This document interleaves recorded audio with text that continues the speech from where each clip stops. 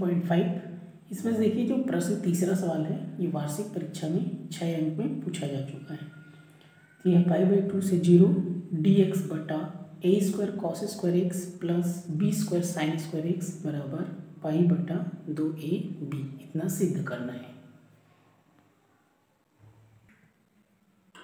तो सबसे पहले इसको आई के बराबर लिखेंगे।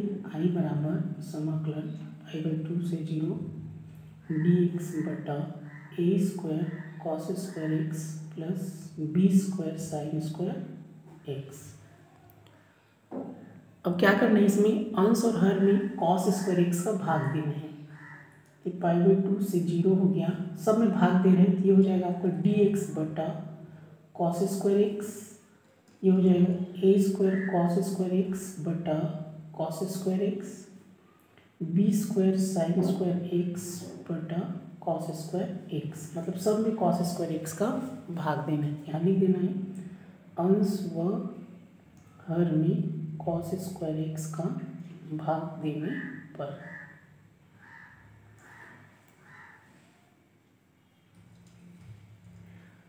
तो ध्यान से देखेंगे यहाँ से ये cos square x cos square x cut जाएगा। ये पाई बाई टू से ज़ीरो ये कॉस नीचे में ऊपर में जाएगा तो सेक हो जाएगा। तो ये हो जाएगा sec square x d x यहाँ पर केवल ए स्क्वायर बचेगा। ये साइन बटे कॉस बराबर टेन होता है। तो ये b square tan square x हो जाएगा। यहाँ लिख सकते हैं, चूँकि एक बटे कॉस एक्स बराबर सेक एक्स और साइन एक्स बटे कॉस एक्स बराबर टेन एक्स अब यहाँ से क्या होगा?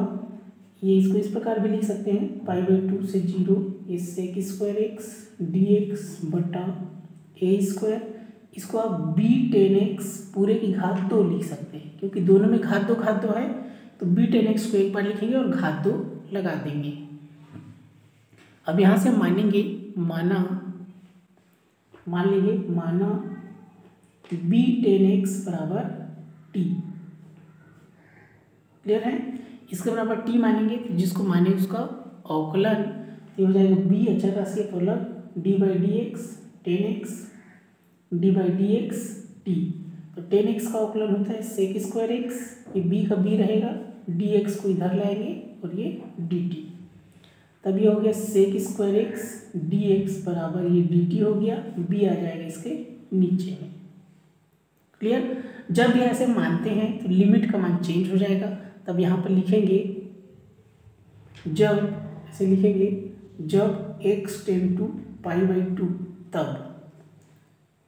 ये तो यहाँ पर आपको लिखना है, b का b लिखना है टेन का टेन लिखना है, x के बदले लिखना है पाई बाई टू बराबर t तो tan ninety pi by two मतलब नाइन्टी तो टेन नाइन्टी का मान होता है अनंत। अब अनंत में किसी भी चीज़ का जोड़ घटाओ गुड़ा भाग करो, वो अनंत ही हो जाता है तो t बराबर हो जाएगा इनफाइनाइट एक टू लिमिट का मान आ गया।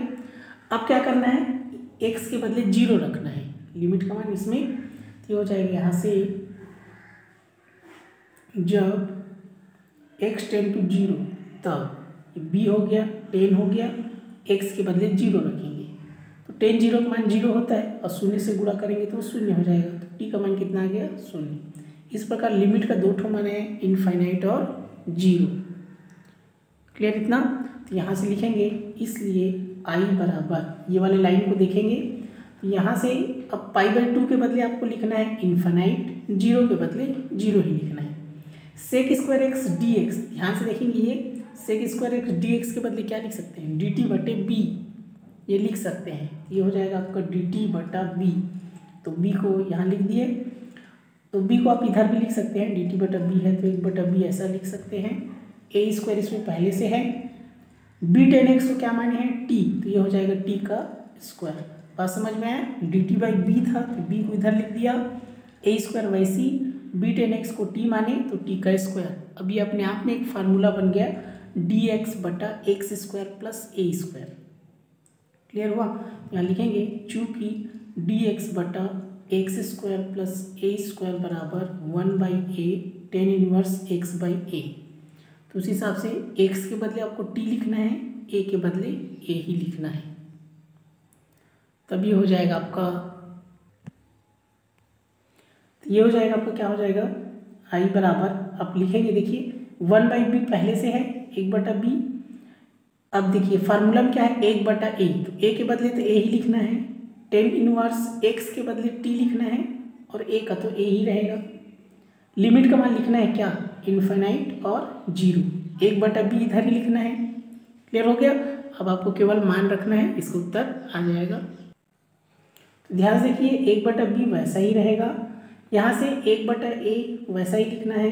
टेन इनवर्स टी के बदले एक बार इन्फाइनाइट लिखना है। बटा ए माइनस फिर से लिखना है। एक बटा ए टेन इनवर्स टी के बदले एक बार ज़ीरो लिखना है। ए। इसी इसी को दो बार लिख लेना। एक बार टी के बदले इन्फाइनाइट लिखना है, एक बार टी के बदले ज़ीरो लिखना है और बीच में माइनस लगाना है। ये एक बटा बी हो गया।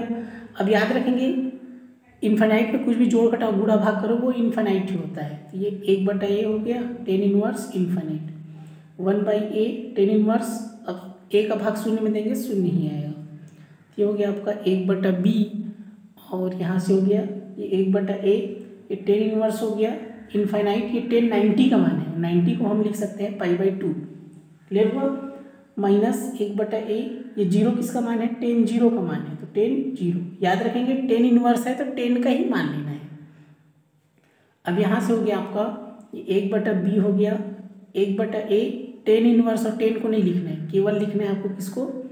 ये वाला आपका पाई बाई टू को लिखना है, पाई बाई टू। माइनस ये हो गया आपका एक बटा a tan inverse of tan को नहीं लिखना है, किसको लिखना है? ज़ीरो को लिखना है। तो ध्यान से देखिए शून्य से इसका गुणा करेंगे तो ये क्या हो जाएगा? शून्य हो जाएगा। तो इतना हमारा उत्तर है तो पाई का गुणा एक में करेंगे तो एक ही आएगा और टू ए बी। तो पाई बटे टू ए बी, यही हमको उत्तर लाना था। तो इसका उत्तर कितना आ गया? फाइनल उत्तर। अब देखेंगे केवल ज़ीरो हो गया। पाई का गुणा एक में किए पाई और ये टू ए बी, यही क्या है? उत्तर लाना था। पाई बटे टू ए बी। क्लियर है? तो लास्ट में इसको लिख देंगे प्रूव करके इस प्रकार लिख देंगे प्रूव या प्रूव दैट तो पाई बटे टू ए बी लाना है। इंपॉर्टेंट सवाल है, इसलिए इसको अच्छे से बनाना है।